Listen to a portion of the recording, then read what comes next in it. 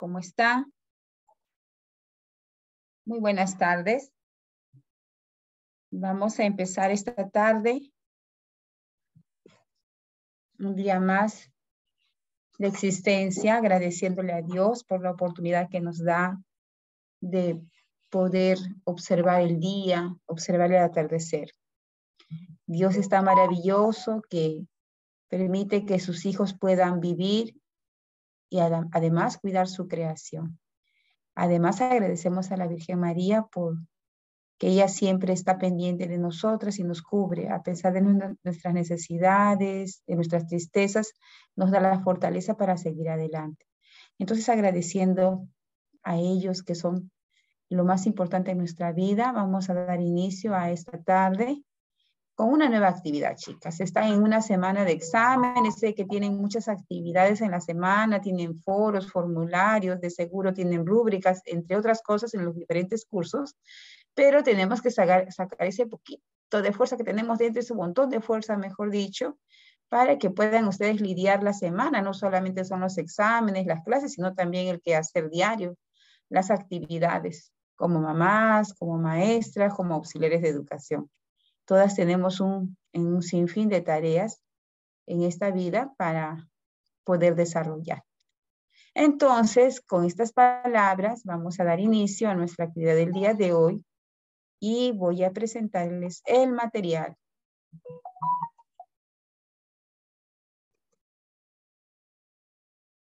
Muy bien, vamos a subir este material más arriba. Vamos a y... será? ¿Estamos observando el material, chicas? Sí, Miss. Sí, muy bien. Sí, Miss. Hijitas, muy bien. ¿Ya llenaron su formulario? Todavía, ¿Cómo les va? ¿Sí? Todavía, Miss. ¿Todavía alguna pregunta? ¿Alguien está por ahí llenando alguna pregunta, alguna duda respecto al formulario? Miss, Miss, le digo una preguntita, disculpe, no he levantado la mano. Pero Karina. ¿Es para desarrollar ya está este formulario de investigación, Miss?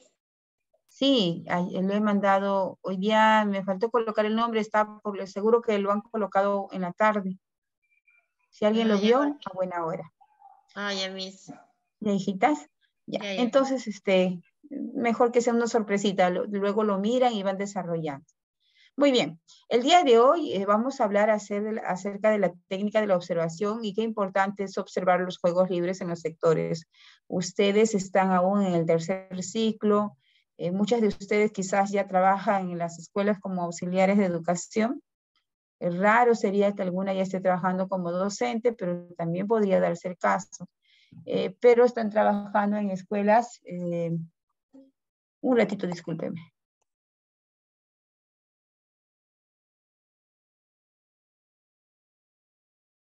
Ay, disculpen, una pequeña interrupción acá con el cable.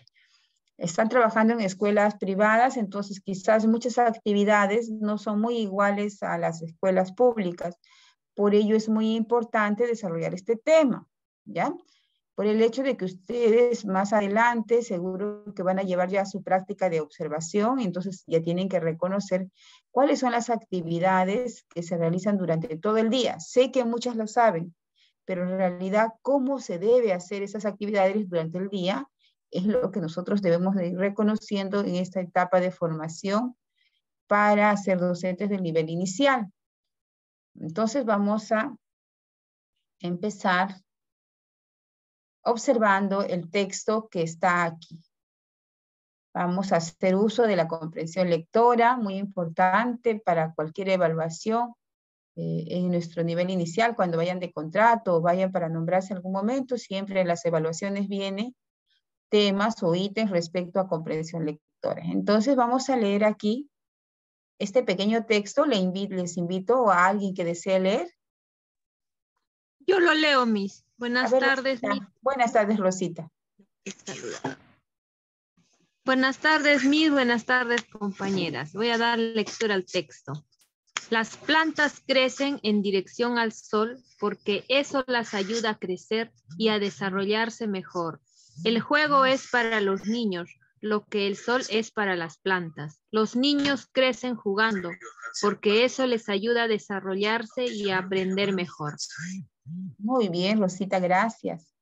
A ver, ¿qué, qué opinan sus compañeras respecto al texto que nos ha leído Rosita? ¿Qué podríamos deducir o qué podríamos inferir, mejor dicho, no? A ver, Karina, muy buenas tardes.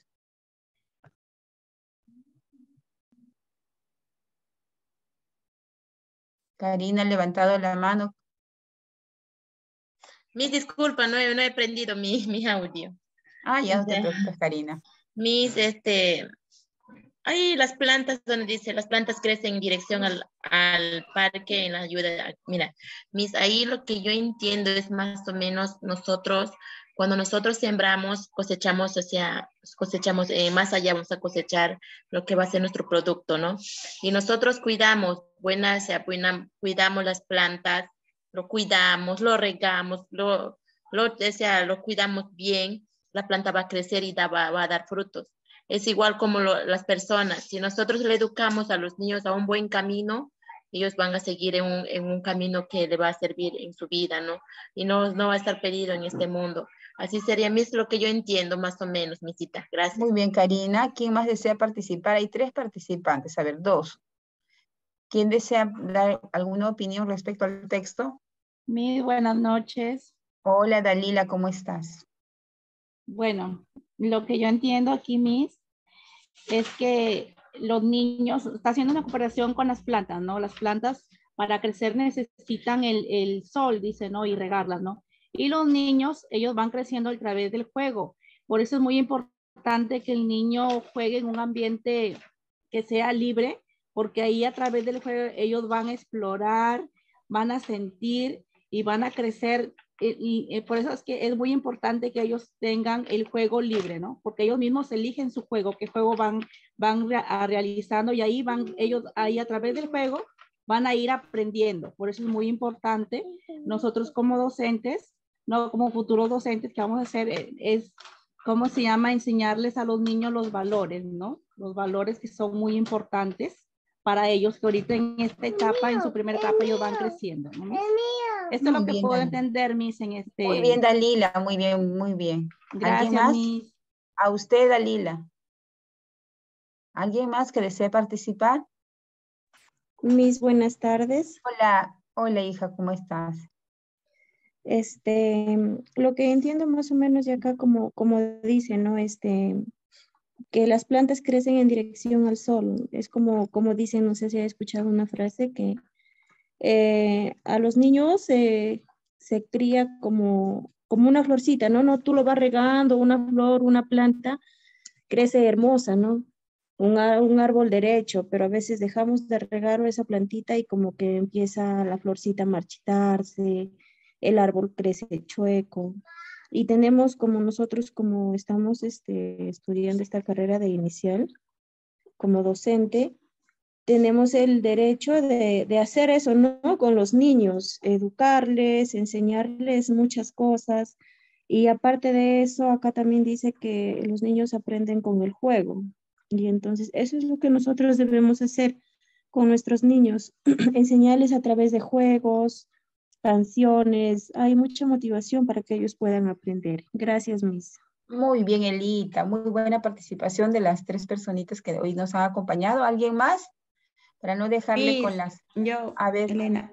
Elenita, a ver. Eh, bueno, opino que los niños son como las plantitas, ¿no? Que así como las plantas necesitan el sol para crecer, asimismo los niños necesitan que alguien los oriente, que los motiven con actividades, con, con actividades, con juegos, ya que así los niños aprenden mejor, ¿no? Con dinámicas y todo eso. Muy bien, Elena. Excelente, muy bien. Entonces, este texto, hay alguien más por ahí, ¿no? Tres personitas más que quieren participar y vamos a darle el uso de la palabra en, en, las siguientes, en los siguientes materiales, chicas, ¿ya? Muy bien. O alguien más, a ver, tiene, tiene algo que decir. Vamos a dar la oportunidad a una más.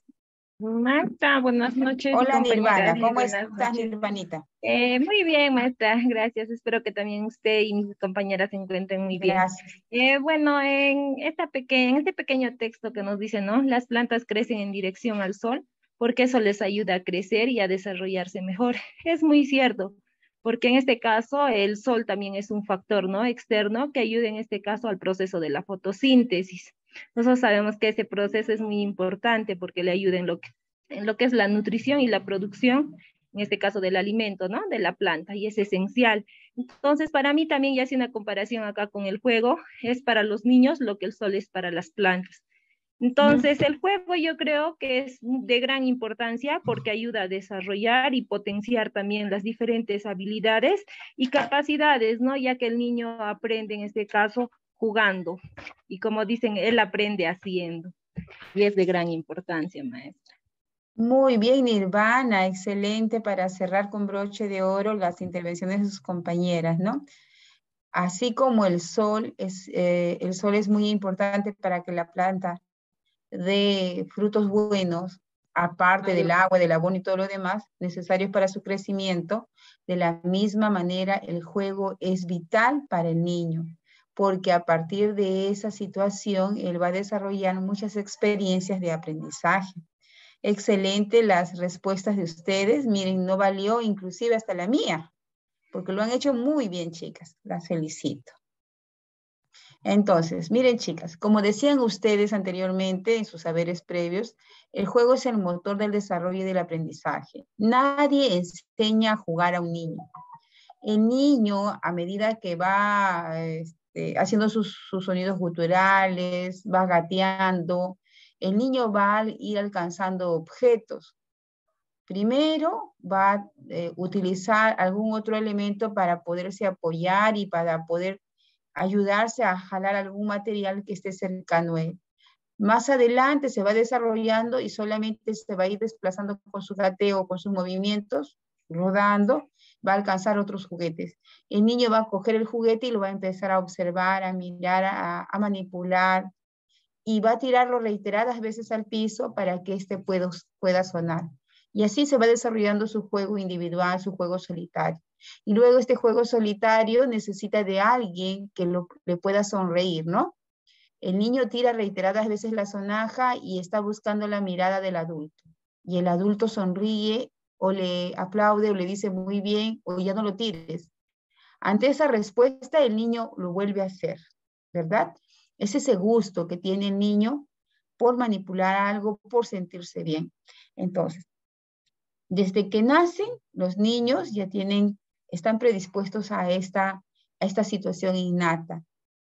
Entonces, nosotros lo que tenemos que hacer, la familia, las docentes, primero la familia, porque es el primer el primer, eh, los primeros seres que lo acompañan es propiciar este espacio, propiciar un espacio agradable, un espacio seguro donde el niño pueda desarrollar todos los movimientos gruesos que tiene al inicio y pueda correr libremente en un pequeño espacio de la, de la casa, ¿no? Y pueda utilizar los materiales grandes también que tiene y los materiales adecuados que debe tener juguetes grandes, ¿no? Juguetes propicios para, la, para cada etapa de, de su desarrollo.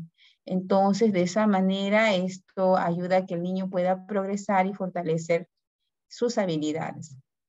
Chicas, entonces, como decía eh, eh, en, adelante su compañera, pues que el juego va a potenciar muchos de, muchas de sus habilidades para desarrollar el aprendizaje, ¿ya? Entonces, el juego es una conducta natural.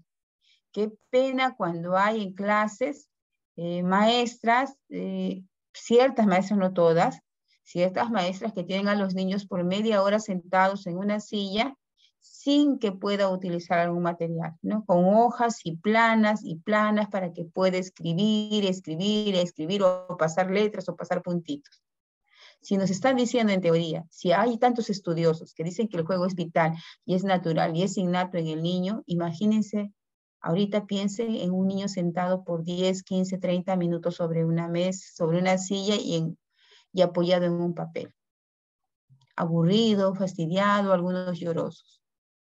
Entonces, queremos nosotros transgredir el desarrollo natural del niño. Pasamos.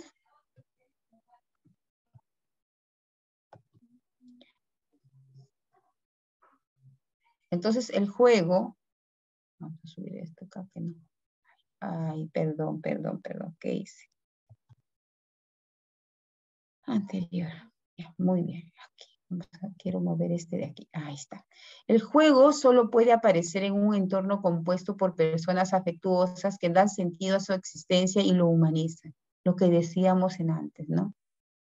Si nosotras, nosotras, le damos ese, ese espacio, ese entorno, esa, esa, ese, esa mm, relación afectuosa al niño, ese niño va a poder desarrollar de manera natural sus juegos. La red de los vínculos familiares y sociales es el marco donde el juego se despliega como dinamizador de un desarrollo y del aprendizaje. Un entorno afectivo y seguro de interacciones humanas amorosas y estímulos humanos como la comunicación son elementos claves para que el niño crezca jugando y desarrollándose saludablemente. Imagínense un aula donde solamente existen cinco o diez rompecabezas y en un rincón solamente tres cuentos. Son algunas instituciones educativas que no tienen el espacio adecuado y solamente tratan con mucho esfuerzo de organizar uno o dos sectores, pero a medias, ¿no? A media caña, como se dice vulgarmente. ¿Qué espacio agradable va a ser ese para el niño? Por el contrario, va a ser un espacio muy conflictivo, porque los 10 o 15 o 20 niños que están ahí van a pelearse por los materiales que están a, eh, su alcance. En vez que sea una situación afectiva, positiva, va a ser una situación ah, eh, negativa, que no va a, favorecer el juego. Ahora, además, si el niño dice que necesita de un entorno eh, donde él pueda desarrollar y desplegar sus movimientos para desarrollar el juego, entonces necesita de un espacio mucho más grande, un espacio donde él pueda correr libremente, no solamente de los sectores de, de los que están dentro del aula, sino de un espacio, un patio, un espacio de arena y agua, un espacio verde, un espacio donde él pueda primero desarrollar sus movimientos gruesos como patear, rodar, trepar, saltar y más adelante, más adelante, movimientos finos. Entonces, si toditas nos podemos a pensar ahorita en una institución educativa, veamos nosotras cuál sería el ideal. Pensemos todas en nuestra cabecita qué y cómo sería esa institución ideal para que el niño pueda desarrollar el juego de manera natural.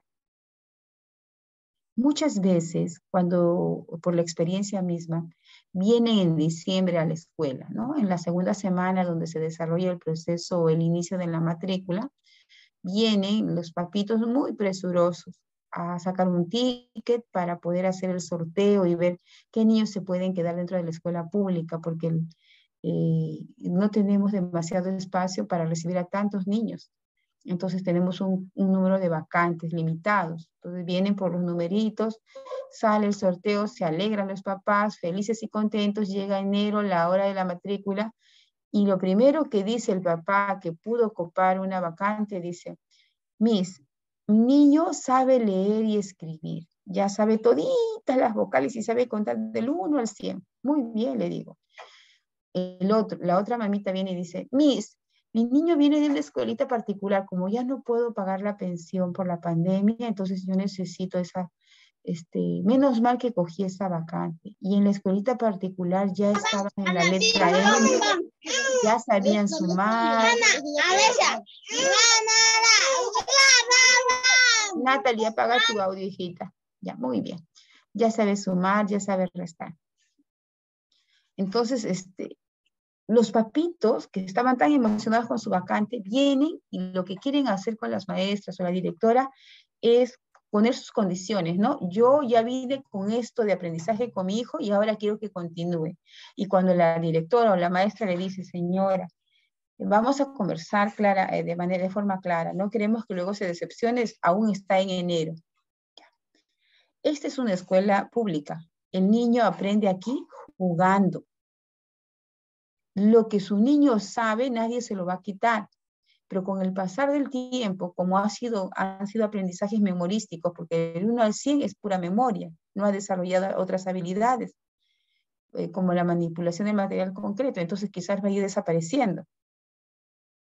Entonces, le estábamos recomendando a usted que no va a encontrar lo que usted está pensando. Aquí no van a llevar cuadernos, no van a llevar hoja todos los días, no van a llevar exámenes. Piénselo bien antes se ponen un poco tristes, algunos se enojan, pero bueno, siguen y continúan con nosotros y llega marzo. Llega abril, llega mayo y solamente observa al niño por las mañanas o por la tarde, inicio de clase, que los niños juegan y juegan. Llega junio y los papitos que vinieron con esas expectativas se enojan y dicen, Miss, mi hijo de lo que ya sabía, ahora ya no sabe nada. O sea, ya no sabe, ya se olvidó del 1 al 100, ya se olvidó mamá, papá y sapo pero todo, que, todo lo ve jugar. Entonces nosotros le decimos, señora, pero es normal que todo lo vea jugar porque está en toda esa edad del, juego. Pero las mamitas se enojan y se, se entercan en que en vez que haya mejorado, ha desmejorado. Entonces, ¿qué hacen en julio? Dicen, ¿sabe qué, directora? Vamos a retirar a mi niño. Ay, qué bien, señor. ¿Y qué pasó? ¿Por qué? Porque hemos visto que no ha aprendido casi nada y lo vamos a regresar a la institución privada. Imagínense. Todo ese proceso que hacen para buscar una vacante y ellos mismos no creen, no creen en la, en la, en la naturaleza del juego de su niño y se los llevan a la escuela privada. Y nosotras las maestras con mucha tristeza decimos, ¿y qué será de la vida de ese niño? Será un adulto en el futuro frustrado porque le quemaron las etapas entonces yo le digo a los papás o nosotras las maestras decimos, ¿por qué exigen a sus niños a leer y a escribir en cinco años? Entonces no hubiera existido el primer grado, entonces todos de cinco años pasarían al segundo grado. ¿Para qué hicieron el primer grado? No tendría sentido. A pesar de esa situación, los padres no entienden y se sacan a los niños. Entonces, lo que tenemos que hacer nosotras como maestras inicial, ahorita que están formándose ustedes como auxiliares de educación inicial, es poder desarrollar actividades o talleres juntos con sus maestras sobre la importancia del juego y la naturaleza del juego en los niños menores de 5 o 6 años. Hasta el adulto, cuando juega, se siente feliz y puede desarrollar tranquilamente las tareas en el día. Entonces, qué necesario es que nosotros creemos un espacio agradable, un espacio grande, un espacio disponible de materiales para que el niño pueda jugar. Y qué importante es también aconsejar a las familias, hacerles reflexionar a las familias sobre la importancia del juego. ¿Alguna opinión al respecto?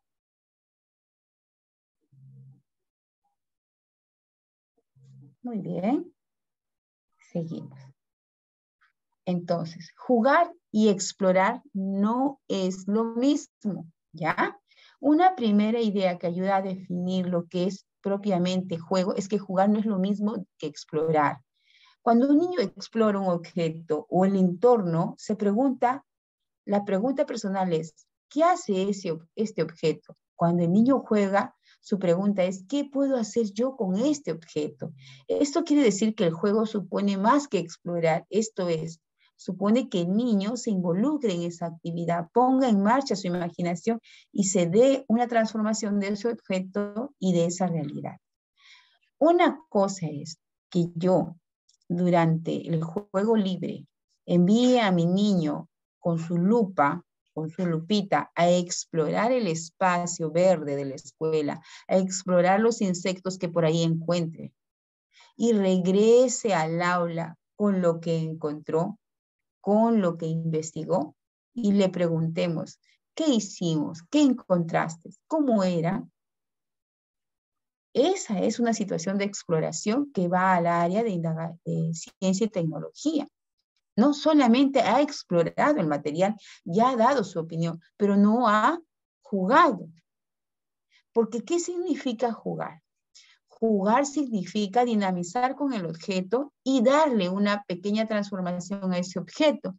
Por ejemplo, tiene miles de cajas o algunas cajas en el patio y los invitan a que el niño pueda ir libremente a jugar con estas cajas. En el transcurso de este juego, los niños dirán que esa caja es su carro, su camión, su avión, su barco y no sé qué más. Entonces, esa sí es una situación de juego. Aparte que he hecho la exploración de la caja porque ha tenido primero que observar, ha tenido que manipular, ha tenido que coger la textura de la cajita, ha tenido que ver el tamaño, si puede entrar o no. Además de ello, ha tenido que transformar ese material en lo que su imaginación le ha dictado, en lo que sus pares, es decir, sus coetáneos, sus amiguitos de su edad, le han propuesto hacer. A eso se llama jugar. Chicas, no vaya a ser que están trabajando algo de con las lupas o le están diciendo, eh, vamos a observar cómo están las plantitas y les gustan las plantitas y vamos a bailar con las plantitas y vamos a cantarle a las plantitas. Eso no es una actividad de juego. ¿Ya chicas? Entonces, jugar es crear un mundo imaginario transformando diversos materiales, diversos objetos que la maestra le pueda proporcionar. Entonces, en un aula no puede faltar materiales y objetos concretos, objetos tangibles, objetos que pueda manipular. Tengo que tener este, muy en claro la edad del niño. ¿No? No voy a utilizar piezas pequeñas para que pueda jugar un niño de tres años porque se lo puede pasar y ocurre un accidente. Entonces, los materiales educativos o los objetos educativos también tienen ciertas características que tienen que cumplir de acuerdo a la edad del niño. Algo que quiera mencionar, decir, chicas, a ver, vamos a, escucharlas a alguien, a ver quién quisiera dar alguna opinión respecto a lo que he escuchado. ¿Alguien se acuerda, por ejemplo, su niñez? Alguien puede este, retroceder en el tiempo y decirnos y contarnos cómo fueron sus juegos cuando tenía cinco o seis años? ¿Quién nos quiere contar su experiencia? Mira, hay 60 participantes, 60 y 58. Miss. A ver, Rosita. Miss, yo le voy a contar una experiencia que he vivido en mi niñez. Yo soy de una provincia del departamento de Ancash y en mi jardincito donde yo este, hice mis primeros años de formación académica, mi Miss nos solía enseñar con materiales de nuestra zona. Mm, yo por decir aprendí a contar con los trompitos. Eso era nuestro juego, con los trompitos de, la planta del eucalipto, sus semillitas, los trompitos, con eso. También la Miss nos enseñaba este, a, leer, por decir, haciendo juegos. Jugábamos siempre. Ella solía tener en su, en su salón palabras o letras del abecedario, así cortadas, y por decirnos hacía escoger como se, sacan números para una rifa, ¿no? Nos hacía sacar las, las letras en este caso. Y por decir, si sacábamos la A, ella decía, ¿A, A de qué? Y nosotros contestábamos, ¿no? Este, A de abeja, A de avión, y así. Esa fue una, una experiencia que, que me ayudó a aprender quizás a mí, ¿no? Como también los colores, me acuerdo bastante que nos enseñaba este, los colores, por decir el azul. Azul es azul del cielo, rojo, rojo de la sangre, rojo del amor, ¿no? Así nos hablaba nuestra Miss y así aprendí. Muy bien. Me gusta la experiencia del trompito. Mm, los trompitos son las semillas de los eucaliptos que caen, ¿no? Cuando van eh, secando, cuando van a caen a la, a la, a la, al costado de este y los niños se amontonan alrededor del arbolito para llevarse. Y yo también he sabido llevarme muchos de estos trompitos. ¿Alguien más quisiera expresar algo? Vi cuatro manos. Mis buenas noches. Hola Dina, ¿cómo estás? Mis, eh, bueno, yo la experiencia que viví en mi niñez, ¿no?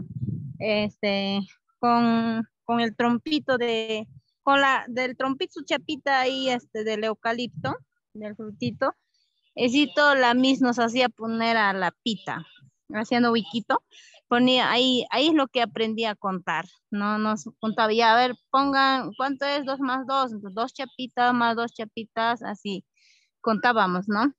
Poniéndole a la pita. Eso es, mm, ha sido una experiencia para poder saber contar, saber sumar eh, los números, ¿no? También, este, eh, también, bueno, en ese tiempo pues todo era, no había pues eh, los materiales como ahora, solamente era piedritas, palitos, chapitas, con la chapita de la cerveza también igual, ¿no? Las, las tapitas de la botella igualito, ¿no? Depende del color, no nos pedía la misma, a ver, tal colores, por favor pasar acá, sí, color azul, color celeste, color verde, entonces ahí lo que aprendí, los colores también mi cita. Esa fue mi experiencia. Qué bien, qué bien. Muy bien. ¿Alguien más quisiera decir algo? ¿Alguna experiencia? Eh, soy Elizabeth. Miss. Hola Elizabeth, ¿cómo estás? Buenas noches. Eh, sí, ¿no? Porque yo también soy de provincia. Eh, yo me acuerdo mucho que la misma nos hacía contar bueno, no sé si ahora existirá, ¿no? Pero antes había un árbol que le llamábamos, pues yo, nosotros decíamos la canicas, pero la misma decía el choloque, no sabíamos eh, era un árbol gigante, ¿no? Entonces, este, el árbol tenía colores. Cuando estaba, este, o sea, intermedio, primero algunos eran verdes y luego intermedio eran rojos y el final eran negros, ¿no? Entonces nos decía la Miss, van a ir y van a recoger de ese fruto verde, rojo y negro. Y luego me van a traer, ¿no? Y nosotros íbamos, pues, ¿no? En grupitos y recogíamos, ¿no? Y luego la Miss nos hacía este separarlos por colores y nos hacía este contarlos, ¿no? Y nos reunía en grupitos, ¿no? En grupitos, decía el rojo, el verde y el negro, así nos, nos reunía por grupos. Y, y, nos decía, pues, ¿no? Por ejemplo, hoy día el lunes, ¿no? Martes trae una pita, una pita y yo voy a traer los materiales, decía.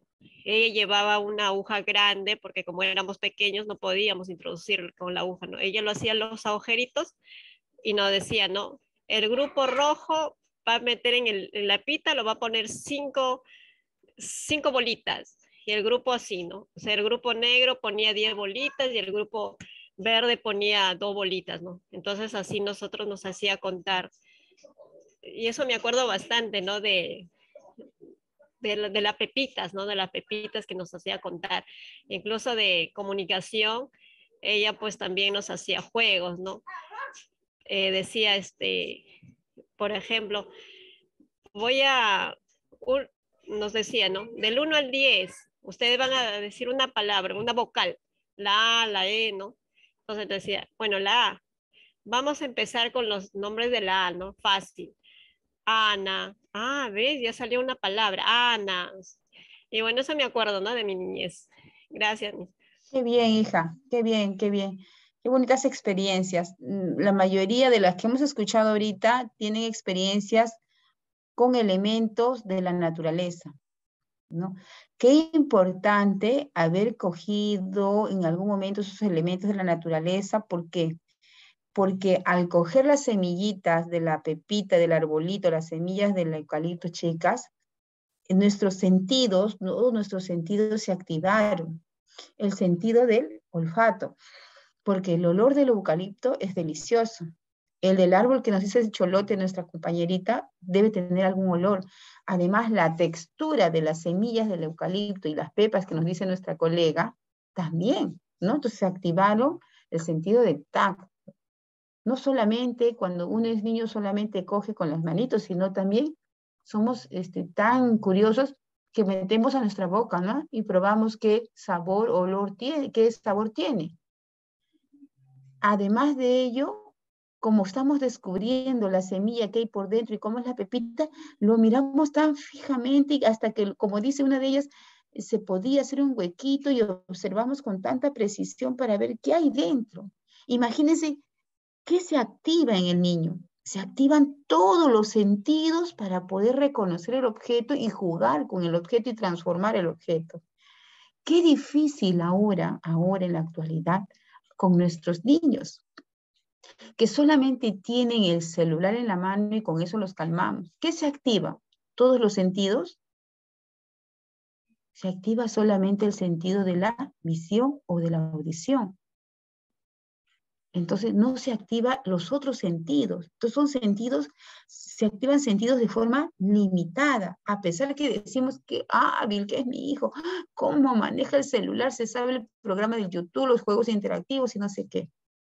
Pero no desarrolla las habilidades sociales, porque cuando tú te ibas, como dicen sus amiguitas, te ibas a buscar las pepitas de ese cholote con tus amiguitas o tirabas los trompitos con los amiguitos, conversabas, corrías, reías, jugabas, llorabas, peleabas, pero el niño con el celular no activa sus habilidades sociales o sus habilidades blandas. Por el contrario, se frustra, se enoja, se molesta y saca todo lo malo que puede haber de la personita tan pequeñita. ¿Por qué? Empieza a pegar, empieza a tirarse al piso, a lloriquear, a hacer sus berrinches, porque quiere el bendito material, el bendito celular. Entonces a los niños pequeños, hasta cierta edad, no se le debe entregar el celular. Si estamos haciendo eso, lo que tenemos que hacer es corregirnos, ¿verdad? Y lo mismo pasa en las aulas. ¿Cómo yo puedo ayudar a desarrollar el juego en los niños si todos los días prendo el bendito televisor? Como está de moda, el mejor salón es el, aquel que tiene el televisor de 70, 80 pulgadas. Y es el salón que tiene la cantidad de, de videos y videos eh, según educativos para que mire el niño. ¿Qué juego se va a activar ahí? Está limitada solamente a la audición y a la visión, porque el niño lo que hace es estar así, fijamente,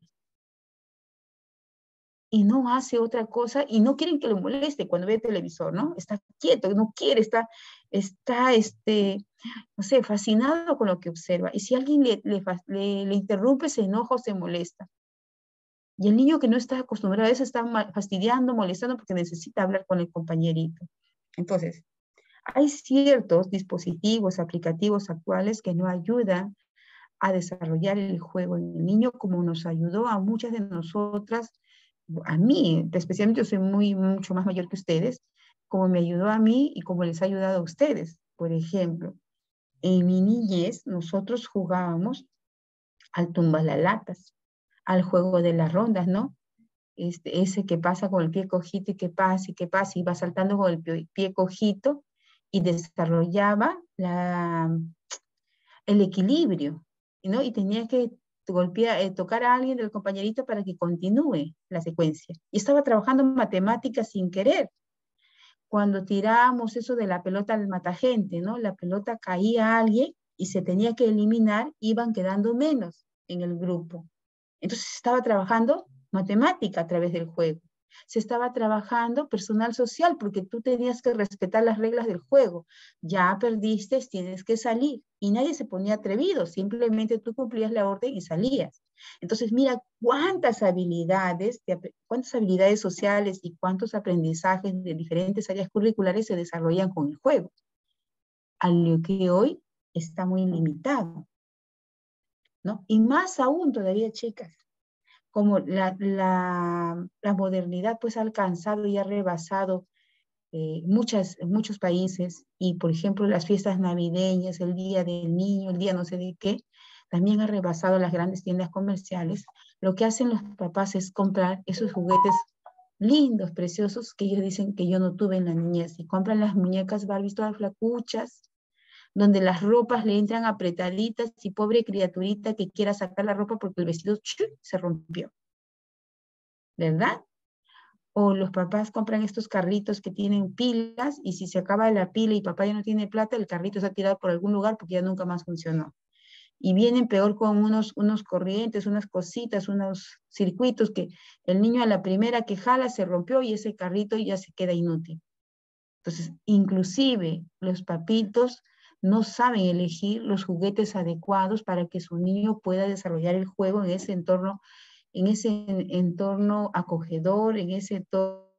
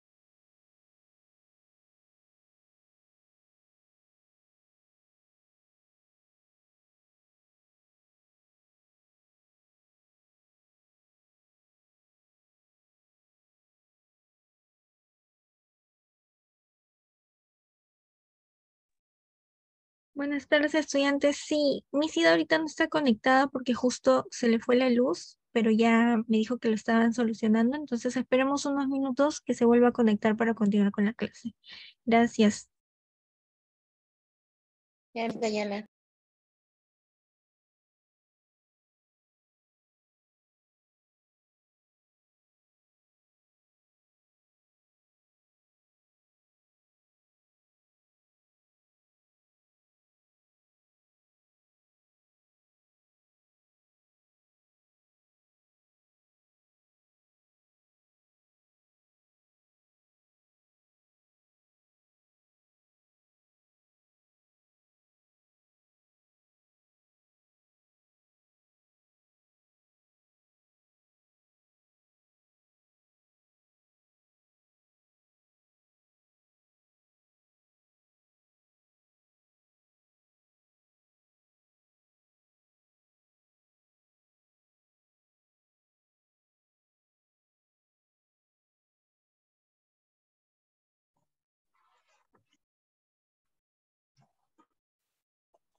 Chicas, disculparán, de verdad que se fue la luz. Duró unos segundos, menos mal él apagó. Dios santo. Un ratito, chicas, un ratito. Ya, muy bien. Continuamos. Continuamos. Muy bien. Entonces, hablábamos pues de la importancia, de la importancia de los, del juego en la vida del niño, ¿no? La calidad de los materiales, la calidad de los juguetes, esa capacidad que tiene el padre de poder discernir qué juguetes son los adecuados para la edad de mi niño. Y no solamente de los, de los padres, sino también de la docente. Muchas veces la docente, habiéndose preparado tantos años para su formación profesional, llega a la, a la realidad y no utiliza aquello que aprendió.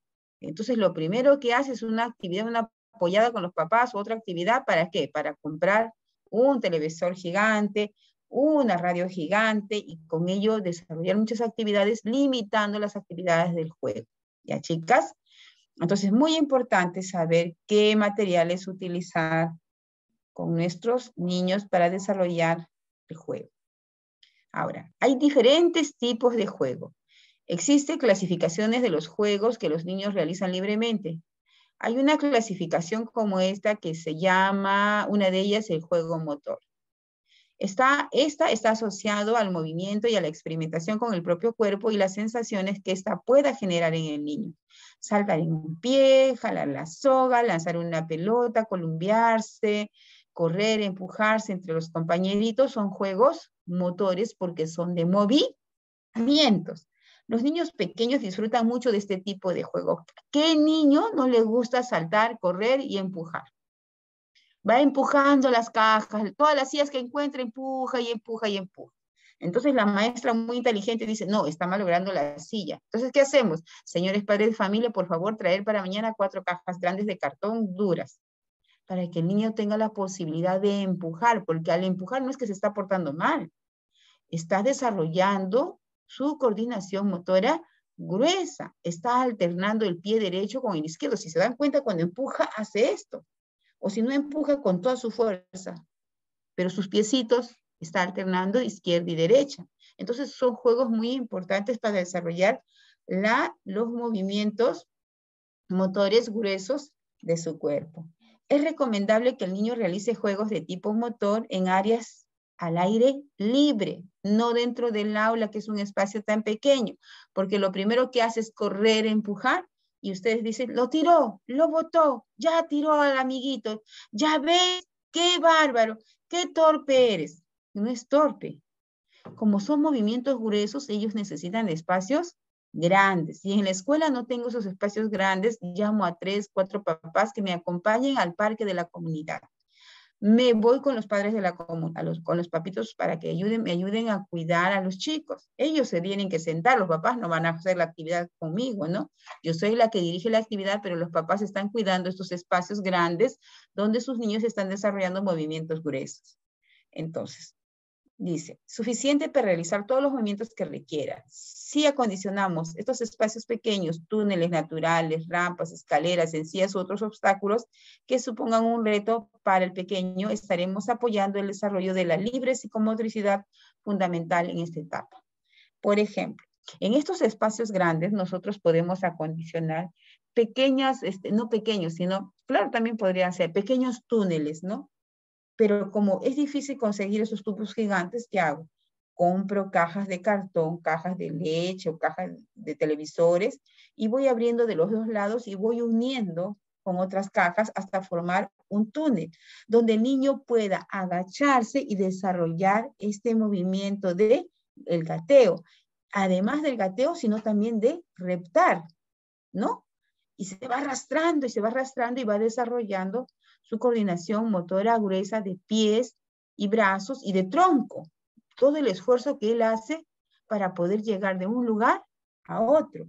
No solamente eso, sino también yo puedo llevar, hay unas escaleras que el Ministerio de Educación nos regaló hace varios años, ¿no? Es muy bonita, es que es como tijerita, pequeñitas, y el niño puede desarrollar este movimiento de levantar un pie, bajar el otro pie, también está desarrollando coordinación motora gruesa y también está desarrollando su equilibrio para que no se pueda caer, ¿no?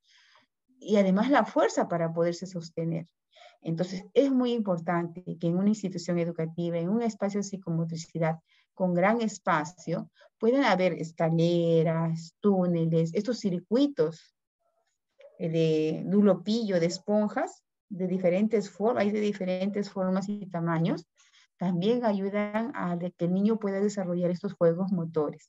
Ahora, estos juegos motores son muy divertidos cuando lo realizan en grupo y cuando se realiza de manera libre y espontánea, no cuando la maestra dirige la actividad. Hoy día, ¿qué vas a hacer? Voy a hacer mi actividad psicomotriz. ¿Y a qué vas a jugar? Ah, hoy día los niños van a pasar por las hulahules. Y después van a pasar de dos en dos y después van a saltar con un pie. Todo lo dirigí yo hagan como yo lo estoy haciendo. Cuidadito, cuidadito, que se salgan del, del hula hula. Estoy diciendo dentro del hula hula, ya ves, ya fallaste. Y todo el día nos pasamos, corrige y corrige a las criaturas. Entonces, el desarrollo motor no se va a dar si la maestra hace actividades dirigidas, solamente dirigidas. Es real, las puede hacer, pero es preferible que el niño lo haga de manera libre y espontánea, cuando lo hace de forma libre, estos movimientos motores, la maestra que hace puede observar mejor el desarrollo de su niño. Ah, ya, todos están trabajando y yo voy anotando. Javier aún no puede eh, trepar. Juanita se le dificulta saltar con un pie. Pedrito no puede reptar ni rodar. Entonces me permite poder registrar mis observaciones. Es lo que ustedes van a hacer en su práctica. Cuando vayan a hacer la primera práctica de observación, ustedes van a tener su cuaderno de campo y van a redactar y observar las limitaciones en el desarrollo de sus niños o el buen desarrollo de los chicos. Si ustedes toda la vida van a hacer actividades dirigidas, dirigidas, que pasa la pelota, dame la pelota, háganlo igualito que yo, nunca van a tener tiempo de poder registrar, de poder observar. ¿De chicas? Entonces, muy importante estas actividades del juego motor. ¿Alguna opinión? Si no, voy a parecer un lorito hablante. ¿Está bien? Seguimos entonces. También tenemos actividades de juego social, ¿no? El juego social se caracteriza porque predomina la interacción con otra persona como objeto de juego del niño. Los siguientes ejemplos de juegos sociales como se presentan en diferentes edades en la vida de los niños, cuando un bebé juega con los dedos de su mamita o con las trencitas de la mamá, habla combinando tonos de voz, juega a las escondidas, juega a reflejar la propia imagen en su espejo. Eh, entre, entre otros juegos, los niños más grandecitos observamos juegos donde hay reglas y la necesidad de esperar su turno para que pueda este, seguir jugando pero también hay el juego, el de abrazarse. Los juegos sociales ayudan al niño a aprender a interactuar con otros, lo ayudan a saber relacionarse con afecto y con calidez, con pertinencia, con soltura, además acerca a quienes juegan, pues los vincula de manera especial. Chicas, antiguamente, como yo les contaba, antiguamente tampoco, ¿no? Porque no somos de la época de la prehistoria, ¿no? Hace muchos años atrás, que están tan cerquitas, nosotros realizábamos muchos juegos sociales. Retrocedan en el tiempo y recuerden los juegos que ustedes realizaban en la hora de recreo. Se iniciaron en primaria. A ver, piensen un ratito. ¿Qué juegos sociales realizaban con sus compañeros, con sus compañeras? Vamos a darnos 30 segundos. el liguero, Miss. ¿Cómo? El, el liguero, una... ah, saltábamos. Natalie, sí. El yes, maestra, el yes con el ping-pong. Ah, también, muy bien, sí. El encantado, Miss. También el encantado. Miss, las, las manchas. Ah, sí, las manchas, ¿cómo es eso? A ver, no sabía eso. O sea, le atrapabas a tu compañero, ¿no? Y le tocabas. Ah, ya, ya. Ah, ya, ya, ya, muy bien. Ajá. Otros juegos. Rayuelo, Miss. Ah, el rayuelo también. Lo he jugado. La gallinita ciega, Miss. La gallinita ciega también. Arroz con leche, Miss. Ah, ese es el más clásico. Eso viene desde la época de, de nuestras abuelitas. El lobo. El lobo. Al lobo, muy bien. Las canicas, maestra. El elefante, Miss, la canción de los elefantes. Ah, un elefante, se balanceaba también. Las escondidas, Miss. También las escondidas, ¿no? Este, ¿qué, otros juegos había, no? La, el tumbalatas, el tumba agua. también. También. También el mundo, el que pasa el rey. La sortija, toma la sortija, del juego de San Miguel, San Miguel. Miss, juguemos en el bosque también. Juguemos en el bosque también. El zorro y las ovejas. El zorro y las ovejas. Miren, haríamos un libro entre todas escribiendo. Zapatito roto, Miss. Zapatito roto, cámbiame por otro. Muy bien, en la casa de Pinocho. También este, ese juego de a la Yankee, a la Yankee en Po. La vaca lechera, mi, donde contaban los, lechera, chicas, seríamos grandes escritoras y cada uno hiciera ese juego. Piedra, papel y tijera, mi. Piedra, papel y tijera también. Entonces, esos son, chicas, juegos sociales. Juegos el caputito también. ¿Cómo es eso el caputito? No sabía ¿Cómo es el caputito? A ver, me cuentan luego, a ver cómo es el caputito, me, me quedo intrigada. Chicas, entonces los juegos sociales ayudan a la interacción, a la interacción social, a las habilidades y al desarrollo social. ¿Por qué? Porque nos permite conversar con mi compañero, ponerme de acuerdo con mi compañero, decir qué reglas tiene mi juego, cuáles debo respetar y qué va a pasar si no cumplo con las reglas de mi juego. ¿no? Y qué bien se siente un niño cuando se siente ganador y todos sus compañeros van y lo abrazan. O cuando el niño se siente muy triste porque perdió igual. Los niños de esa edad son niños muy buenos. No tienen malicia, van y se acercan y los, lo, acarician, ¿no? Y le dan el valor para continuar. Hay niños que se frustran cuando pierden un juego porque, porque no han desarrollado todavía la seguridad.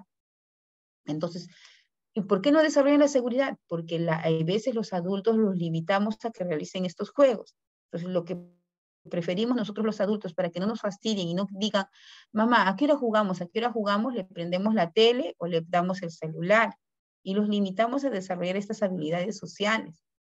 Entonces, es muy importante, pues chicas, que nosotros, nosotras podamos desarrollar actividades o juegos donde interactúen los, niños frente al adulto. Incluso las maestras podemos desarrollar juegos sociales junto con sus padres. Invitamos a los padres de familia al aula para que ellos puedan desarrollar diferentes juegos con sus niños. hay una experiencia, por ejemplo, en mi escuela, antes de la pandemia. nosotros pusimos juegos tradicionales con papá. ¿Qué hicimos? Hicimos, son, eran cuatro aulas. Cada aula creaba, este, recordaba un juego tradicional y por 20 minutos jugaba con su papá y con los niños. Los niños encantados porque ni sabían que existían esos juegos. Los padres felices porque empezaron a jugar lo que dijeron antes, el juego de las liguitas. Y los niños saltaban y los padres jugaban. Qué alegría y qué emoción. Pasaba los 20 minutos, tocábamos el timbre. Ese salón, por ejemplo, A pasaba al aula B y el aula B y jugaba el juego tradicional del aula B. Al, final, los padres de familia cada 20 minutos cambiaban a un juego diferente, pero de juegos tradicionales. Fue una experiencia maravillosa. A partir de esa situación, los padres de familia empezaron a elaborar en casa estas rayuelas, el juego del mundo, que es fácil de hacerlo en el patio de su casa, o desarrollar otros juegos. Y sus niños también aprendieron que habían estos juegos. Entonces, todo depende de la conducción de una maestra. Si la maestra no conoce por teoría qué es el juego, por qué es importante el juego, qué tipos de juego hay, no va a poder indicar a los padres de familia, no va a poder indicar a los niños eh, en estas actividades. Entonces, es muy importante conocer la teoría, conocer estrategias, socializar esto que conozco con las personas que trabajan en la institución educativa. Por ejemplo, ahora que ustedes están en el tercer ciclo, no les prohíbe de que las que están trabajando puedan ir con alguna idea a la maestra y maestra, sin hacerla sentir mal, porque la maestra es la autoridad, se sabe, ¿no? maestra, ¿y qué le parece si jugamos mañana al lobo y al ratón? Maestra, ¿qué le parece si mañana hacemos un mundo en el patio? Yo lo construyo con las cintas, estas, ah, estas cintas marketing. Entonces, ustedes están colaborando de alguna manera con la alegría de los niños. ¿Ya? Hasta ahí estamos. Chicas, ¿estamos bien hasta ahí? ¿Seguimos? Entonces también, aparte del juego motor, aparte de los juegos sociales, también hay el juego cognitivo. El juego cognitivo pone en marcha la curiosidad intelectual del niño. El juego cognitivo se inicia cuando el bebé entra en contacto con los objetos de su entorno que busca explorar y manipular. Más adelante, el interés del, niño se torna en un intento por resolver un reto que demande la participación de su inteligencia y no solo la manipulación del objeto como fin. Por ejemplo, si tiene tres cubitos, intenta construir una torre con ellos, alcanzar un objeto con un palo. Los juegos de mesa, como dominó o memoria, los rompecabezas, las adivinancias, entre otros, son juegos cognitivos. Por supuesto que sí, ¿verdad?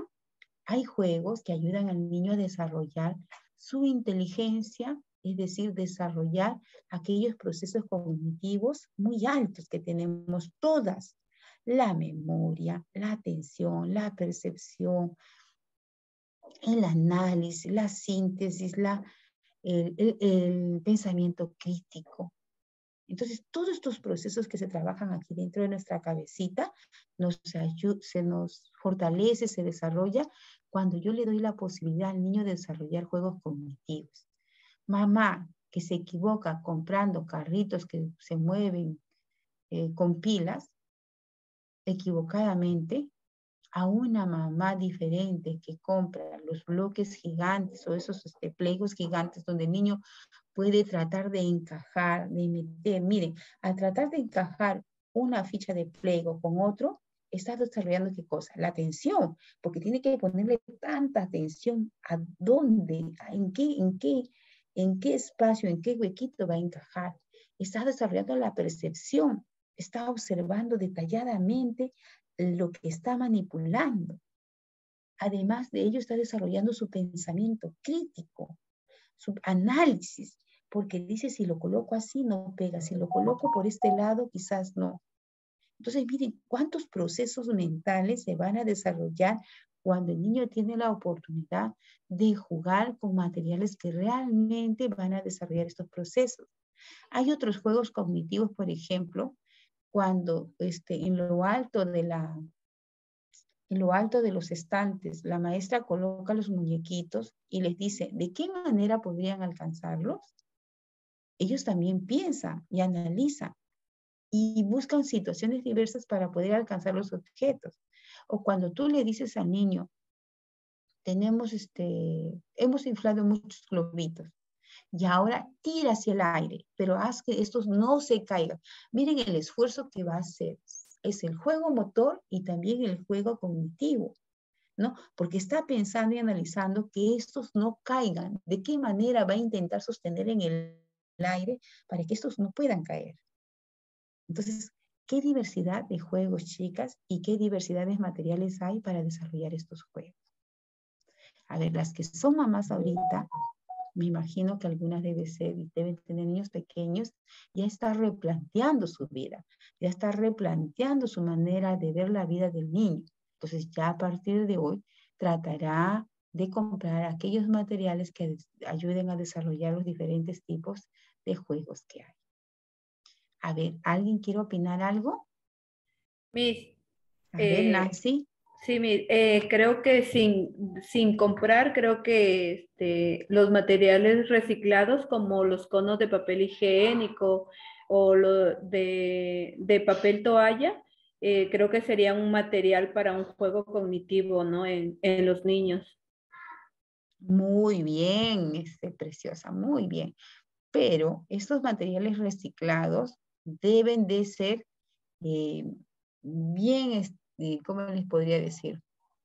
Deben estar bien forrados, eh, bien cuidados y cada cierto tiempo observar este material para poderlos eliminar, porque como son reciclados, pero lo que, lo que la mayoría de los niños hacen es, si son cartones, si son los conitos de papel higiénico y las maestras los colocan, están, inclusive lo tienen todo el año, ya están aplastados, ya están mordidos, ya están chupados, ya no sirve para lo que ellos necesitan, porque ya no, se, ya no se pueden encajar o parar uno encima del otro. Entonces, cuando tenemos materiales reciclados en el aula, tenemos que darle un cierto tiempo de vida y estar observando permanentemente para poder hacer el cambio.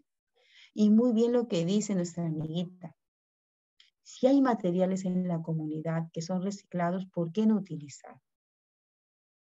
¿No? Por ejemplo, las botellas de 3 litros, de 2 litros, de 1 litro, de medio litro, de un cuarto de litro, se pueden, si los cortamos, si les ponemos la cinta, la cinta donde corresponda para que no les dañe, no corte los dedos de los chicos, nos pueden ayudar a encajar. Entonces, hay diversidad de materiales que ustedes seguro cuando acabe esto de la, de la virtualidad o cuando vayan a la semi-virtualidad, a la semi-presencialidad, van a elaborar. ¿Ya, chicas? Entonces, muy bien, muy bien la idea de nuestra coleguita, quien nos ha dado esta, esta, esta idea o opción de tener material reciclado dentro del aula y también en casa. A ver, Jane, ¿quiere opinar algo? Jane, ¿está ahí? Mi, buenas noches, buenas noches compañera. Mis, también podíamos este, realizar también con las tapitas de botella, eh, por ejemplo, este, realizar, por ejemplo, un reloj, ¿no? Para poner, para poder ponerle este, la sola hora, pues los números, eh, hacerlo con cartones, ¿no? O sea, con los materiales reciclados que hay en casa que podemos nosotros de repente hacer muchas cositas, ¿no? Para los niños, para que ellos puedan, puedan esto aprender también, mis. Muy bien, Jan. Gracias. Muy bien. Entonces ustedes ahorita ya están entrando a otra dimensión ya. No solamente me están escuchando hablar acerca del juego, sino ustedes ya están mentalmente ingresando a otra situación, por ejemplo, de la elaboración de material educativo, la elaboración de material educativo con, con elementos reciclados. Entonces, miren, ¿ve? No solamente es cuando se trabaja un tema, no se trabaja de manera aislada, sino se de manera integral. Se van integrando otras áreas, otros conocimientos para poder desarrollar la temática del día de hoy. Entonces vamos a continuar con la evolución del juego en los primeros seis años de vida de nuestros niños. La conducta de juego evoluciona y cambia conforme el niño va madurando y creciendo. El juego de un bebé de 12 meses es muy diferente y más sencillo que el juego de un niño de 5 años, el cual ya es muy complejo. ¿Nos hemos puesto a pensar dónde radican las diferencias? Por ejemplo, a nivel social, observamos que los niños de uno a dos años prefieren jugar solos, como les decía al inicio, ¿no? Es un juego aislado, es un juego individual. En cambio, los mayorcitos, que ya van a, ya tienen dos, tres, cuatro, cinco años, prefieren y tienen la capacidad de asociarse con otros niños para armar juegos grupales. Asimismo, a nivel intelectual observamos, por ejemplo, que el juego de un niño de 15 meses con una ollita es sencilla. Se interesa en explorar este objeto, lo golpea, lo hace rodar y con una cucharita lo hace sonar. En cambio, el de 5, el de 4, el de 3 le da otra utilidad más compleja a esa ollita, porque se va al sector de la cocina y en esa ollita vacía algunos elementos que hay para crear o para imaginar que está preparando algo. Inclusive crea una historia alrededor del tema y simula que está haciendo una rica sopa de letras, una rica sopa de pollo. Entonces, los juegos también son de lo más fácil a lo más complejo, de las cosas más sencillas a las cosas más difíciles. Por ello, cuando ustedes, este, cuando los papás dicen, hay que llevarle al, al centro de estimulación, y, los niñitos de uno, año y medio y dos están jugando y los papás vienen y se quejan y dicen, señorita, mi niño le pegó, mi niño le mordió, mi niño le arañó, mi niño le quitó, no le dejan jugar. Es que es normal, porque los niños de esa edad están en esa etapa del juego solitario, del juego de, investigar, de curiosear qué va a pasar si yo golpeo lo tiro o lo hago rodar aquel juguete a un niño más grandecito ya, necesita de otro para poder intercambiar ideas y poder jugar. Ya es diferente ese juego. Además, los niños de tres años para adelante, para atrás, son niños por sus propias características aún egocéntricos. Entonces, todo, todo lo que hay lo quieren para él. Y peor en casa, si son hijos únicos, ¿no? Todo lo que hay en casa solamente es para él. Inclusive si mamá y papá le refuerzan y dicen, hijo, he trabajado tanto porque todo es tuyo, no prestes a nadie. Cuando termine de jugar, vuélvele a, a guardar a su sitio. Y si viene tu primito tal, lo vuelves a guardar. Entonces, reafirmamos de manera negativa su individualidad. Y son niños egoístas. Llegan al aula y no quiere que nadie toque nada. Creen que ellos son los dueños de todas las cosas que hay. Entonces el juego se torna triste, se torna complejo en el aula. Entonces también es importante identificar qué niños tienen este comportamiento para poderle dar la orientación al padre de familia. Recuerden que nosotras vamos a ser profesionales en nuestro nivel. Entonces, como profesionales tenemos que mirar de una manera científica la actitud de un niño, de una manera mm, muy objetiva la actitud de un niño, porque nosotros, así como el psicólogo, como el médico, como el abogado, también tenemos que recomendar, saber llevar una, una situación negativa en el aula para que ésta se vuelva positiva hablando con los padres de familia. Chicas. Entonces, por ejemplo, para todo lo que yo he hablado, lo que yo les he dicho, nosotras tenemos que aplicar, tenemos que utilizar la técnica de la evaluación. La docente eh, va a evaluar, elige una de esas técnicas y en base a ellas decide qué instrumento va a construir y aplicará. Por ejemplo, para, para que nosotros podamos ver cómo está realizando el juego el niño, si las actividades de juego que yo he planificado son las correctas, si el niño es un poco egoísta, si el niño aún no comparte los materiales, entonces yo tengo que aplicar la técnica de la observación. Entonces, ¿qué es la observación? Es un proceso espontáneo y natural. Usa principalmente la percepción visual y se utiliza, disculpame la hora, y utiliza y se utiliza principalmente la percepción visual y se, en el proceso diario de aprendizaje y que nos permite recoger información individual y grupal. ¿ya? Es importante que la maestra pueda observar todo el proceso de una actividad, dejándose de preocupar que el niño, por ejemplo, van a trabajar la hora del mini chef la maestra está más preocupada que el niño se vea tan bonito a que realmente pueda realizar la actividad de manera libre y bonita el de la preparación, digamos, de, una limonada. No, la maestra está más preocupada que la mamá le traiga el mandilito, el gorrito, que, que el guantecito, porque el niño tiene que salir bonito. En realidad no es que el niño tenga que salir bonito. La realidad es que el niño pueda disfrutar de la hora del chef, ni que el agua tenga más azúcar o menos azúcar. Lo importante es que el niño pueda reconocer los materiales que va a utilizar, cómo los va a utilizar, pueda compartir con sus compañeros. Si se le cayó el agua, el niño mismo pueda solucionar el problema y pueda limpiar la mesita.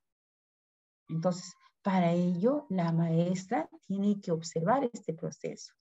Si la maestra está más preocupada en cosas este, aparentes, en cosas que no tienen mucho sentido en el aprendizaje del niño, nunca va a poder registrar, nunca va a poder observar nada.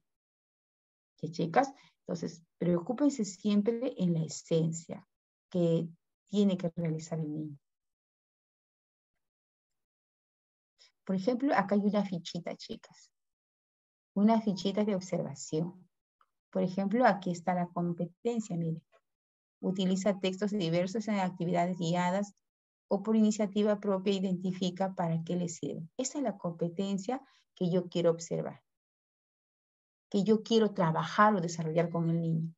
Entonces, lo que yo quiero observar es esto, es esto, miren. ¿Cómo reaccionan los niños frente a las propuestas de las actividades? ¿Cómo interactúan los niños con los cartelitos? Es decir, ¿qué comentarios hacen sobre los cartelitos que la docente le muestra y que le propuso elaborar, etc. de cosas? Entonces, yo me hago una, una serie de preguntas que necesito observar de mi niño respecto a la competencia que, me he propuesto el día de hoy. ¿Por qué? Porque yo tengo aprendizajes esperados, o sea, yo estoy esperando que mis niños aprendan a explorar, aprendan a solicitar o seleccionar diversos materiales eh, que, se va a dar dentro del aula. Entonces, esto de aquí esto de las competencias, los aspectos de observar y los aprendizajes esperados es lo que la maestra planifica todos los días. Y lo que hace la maestra es registrar. ¿A través de qué? A través de la observación. Si yo no observo adecuadamente y me dedico a las cosas, por ejemplo, Día de la Madre, yo quiero que salga bonito, de, este, bonito, bonito este material de corostún, que le pongan el ojito, que la escarcha, que no sé qué, y, y más estoy preocupada en que salga lindo, lindo el trabajo, a que yo le entregue una hoja y le digo al niño, dibuja lo que quieres dedicarle a mamá en este día. Me va a ser más fácil, porque la maestra, los niños están dibujando y la maestra está redactando, está observando y está escribiendo. A que yo me dedique a cortar el corrospón, a poner la silicona, a pegar, no me va a dar tiempo a observar nada, ni a apuntar nada, ni a poder registrar alguna, alguna deficiencia que yo encuentre en, en el aula.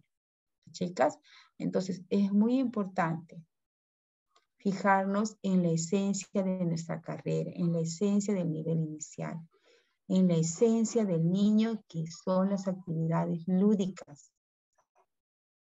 entonces, así como esta fichita, hay diversas fichitas en nuestro nivel inicial.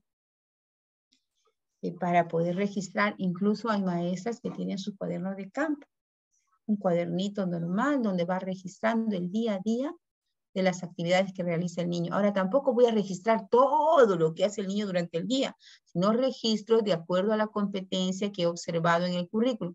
Por ejemplo, hoy día yo he decidido trabajar este, eh, la competencia convive y participa. Y he decidido que los niños elaboren acuerdos y respeten los acuerdos. Eso quiero hoy día, que elaboren acuerdos y que respeten acuerdos.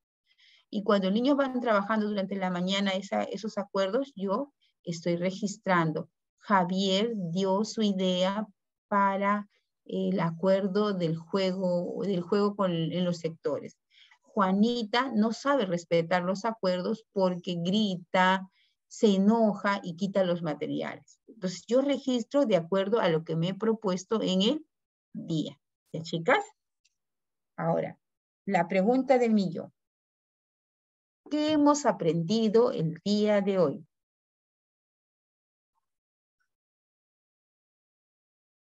¿Qué hemos aprendido, chicas? Sobre los juego, los espacios que debemos de tener registrar. Muy bien. Los juegos, profesora, y tener este para observar a los niños. Miss, la técnica de la observación y juego libre en los sectores. Muy bien, la técnica de la observación y el juego libre. Muy bien, todas chicas. ¿Para qué nos sirve lo que hemos aprendido el día de hoy? Para instruirle a los niños, maestra.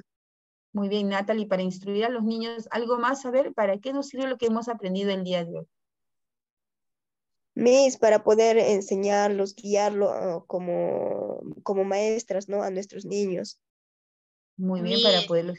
Miss, como cuando nosotros lleguemos a ser docentes para desenvolverse, cómo podemos trabajar con los niños y cuáles serán los sectores y ahí cuando los niños están trabajando, cómo podemos observar y con qué material podemos anotar el cuaderno de campo, todo eso, mis, eso, es lo que se, se observa, o sea, lo que se ha aprendido, mis, lo que yo he aprendido, mis, eso es todo.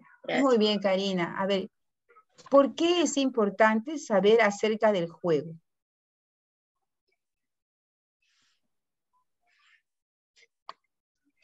Miss, porque mediante el juego, este, ¿no? Los niños aprenden.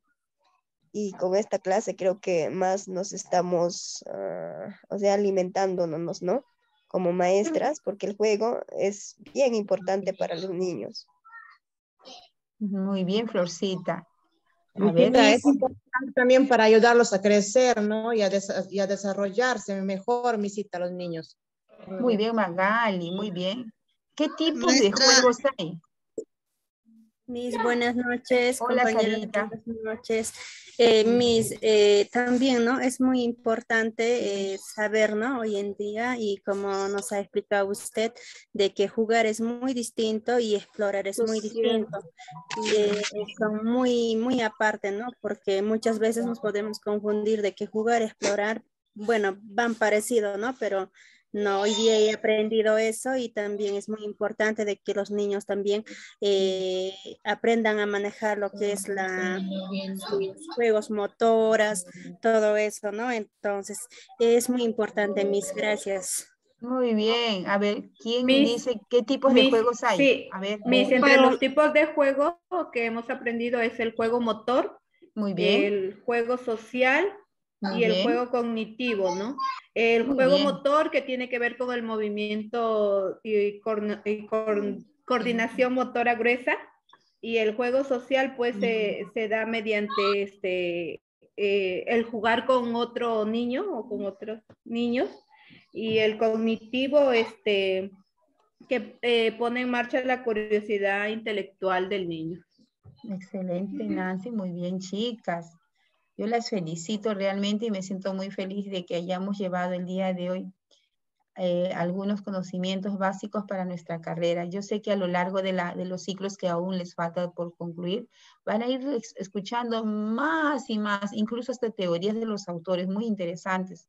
Eh, observar, por ejemplo, a Piaget y su teoría sobre el juego, a Montessori sobre su teoría del juego, y entre otros autores ¿no? valiosos que ayudan a fortalecer nuestros conocimientos científicos respecto al juego. Muy bien, es un gusto haber trabajado con ustedes el día de hoy. Llenen su formulario, que Dios las bendiga enormemente. Y, me despido de ustedes porque tengo en 10 minutos otra clase. Cuídense mucho, un abrazote así grande. Gracias, Miss, y bendiciones. Muchas gracias, mis bendiciones. Gracias, Miss. Hasta la próxima. Un abrazote, un abrazote. Convocas la reunión general con todos los docentes, tanto a derecha como a izquierda.